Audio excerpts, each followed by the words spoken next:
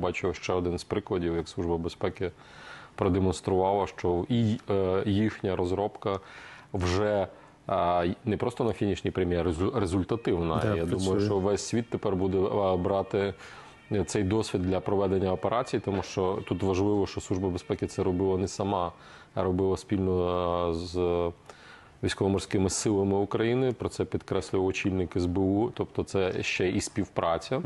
І незважаючи на те, що ми не маємо свого великого флоту, як це було раніше, ми продемонструємо, що Україна є морською державою і що ми можемо захищати свої інтереси і не тільки на суші, і в повітрі, а й на морі.